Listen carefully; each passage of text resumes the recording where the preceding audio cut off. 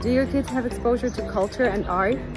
I'm a huge believer that art is our gateway to imagination and it's very important to expose our kids to art since young age and since early on.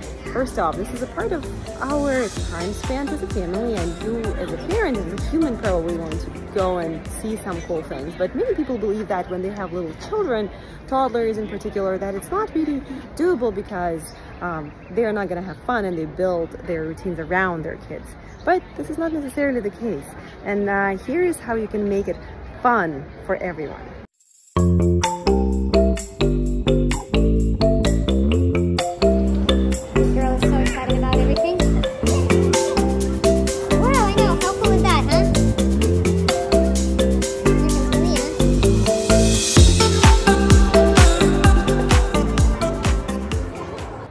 One of the things that definitely makes it so much more fun for, uh, in particular, preschoolers and kindergartners is doing quests for them.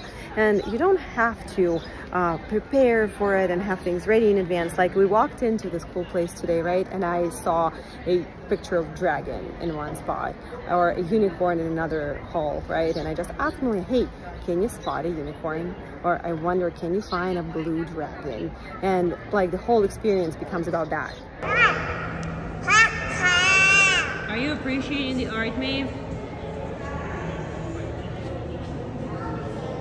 Like this cool dragon from Spain from 1200 from a Benedictine monastery. Maybe you're learning to read already. Does this look very cool?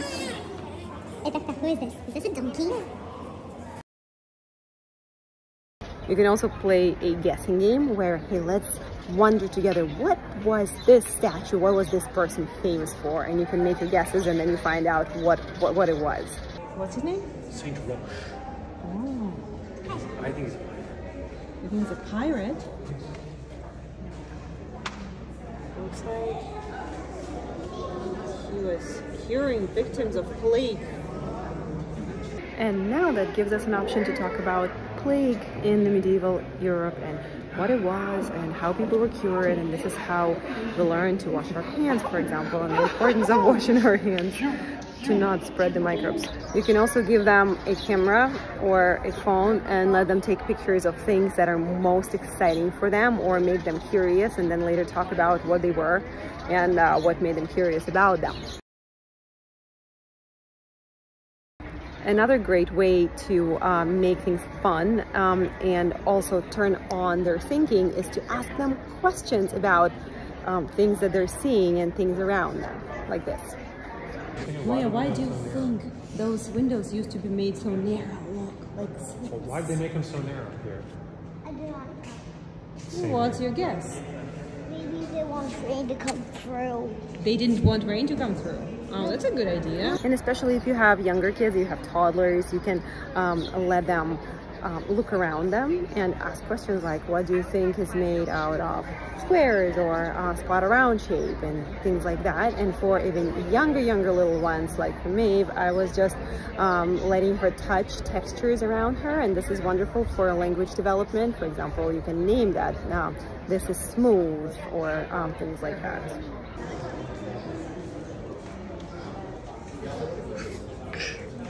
I know, this is thyme maybe.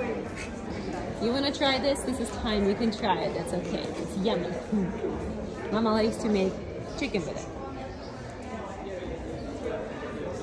I would say not on the floor, me. Nope.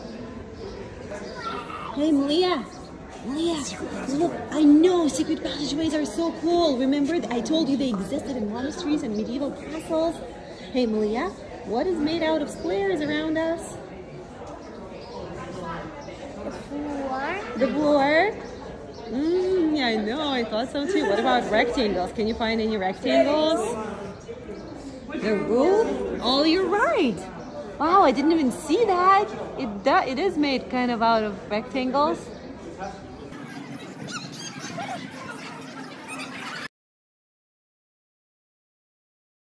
And one last thing is um, looking into things and preparing for things on your way to uh, a museum or to a cultural event, for example, right? Like if you're going to um, an exhibit from um, Picasso or some abstract painters, you can tell them a story like, for example, Picasso's first word was actually a crayon.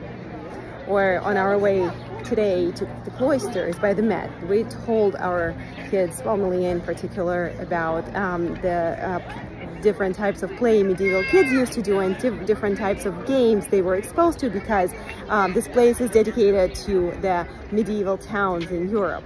And uh, this was a lot of fun for her. So just some basic interesting things and uh, kids can get very excited. So we just found out that Europeans used rosemary to drive away evil spirits. Pretty cool.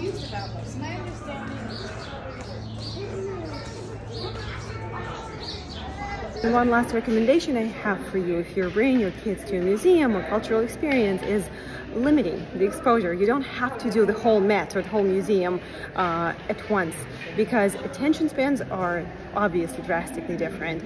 And um, what matters is for them to have fun and for them to have like this um, memory of something interesting, you know, like this dopamine release where um, they did a quest and they remember finding something or they learned something really cool and something interesting.